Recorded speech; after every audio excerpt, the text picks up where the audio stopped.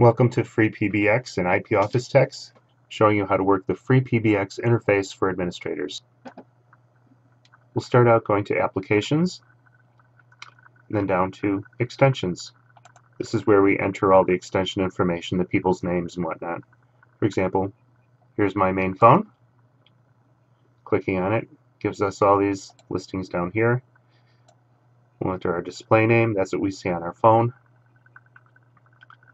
put in our extension number, which is 301.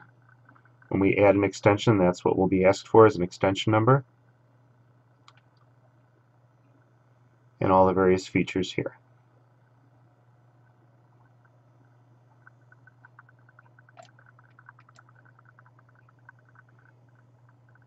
Where we enter our auto attendance is under IVR. We choose on the right this is our main daytime auto attendant. Shows you what it's called. We give it an extension number. And then these are the choices. Press 0 for voicemail, general delivery, press 1 for my office, press 2 for Adam's office, and other items. Nighttime auto attendant might be a little bit different, and then we have other choices here that we can use.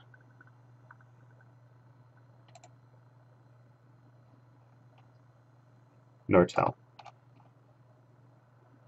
There's some reports we can have that show us what's happening with our system. System recordings.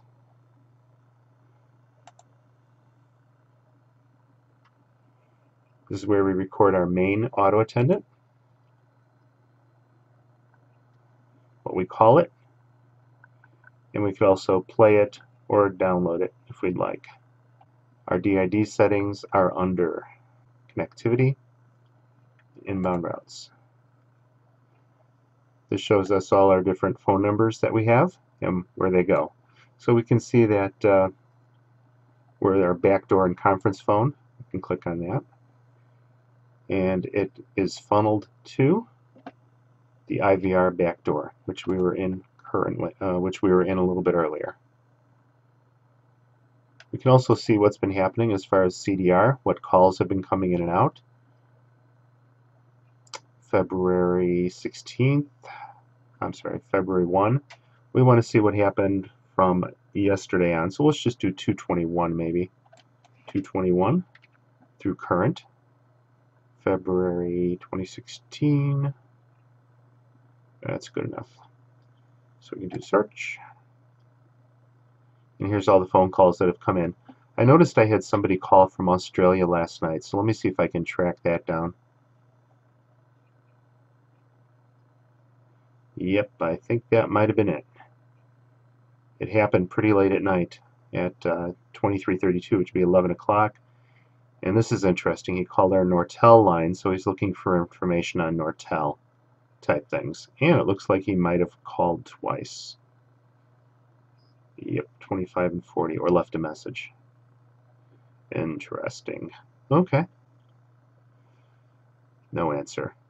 Okay, that makes sense. We didn't answer but it went to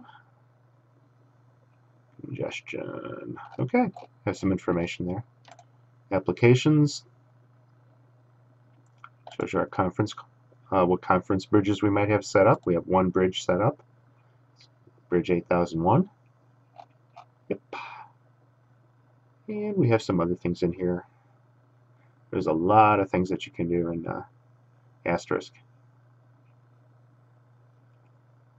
Mostly done under the extension tab.